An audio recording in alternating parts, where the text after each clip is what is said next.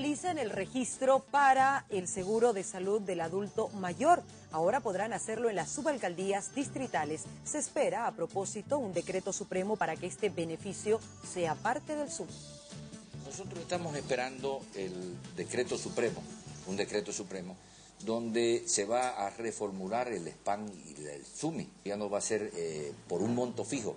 El gobierno nos asignaba a nosotros como 58 bolivianos mensuales por cada ancianito. Ahora va a ser por prestaciones. Entonces el ancianito va a tener mayor cobertura, vamos a poder brindarle mejores eh, atenciones nosotros.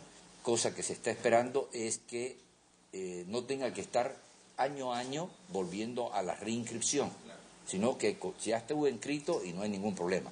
Las atenciones las vamos a hacer nosotros en todos los centros de salud, los 68 centros de salud que tiene el gobierno municipal, más los cinco hospitales de segundo nivel. Y en caso que se requiera tercer nivel, están los hospitales eh, de la gobernación.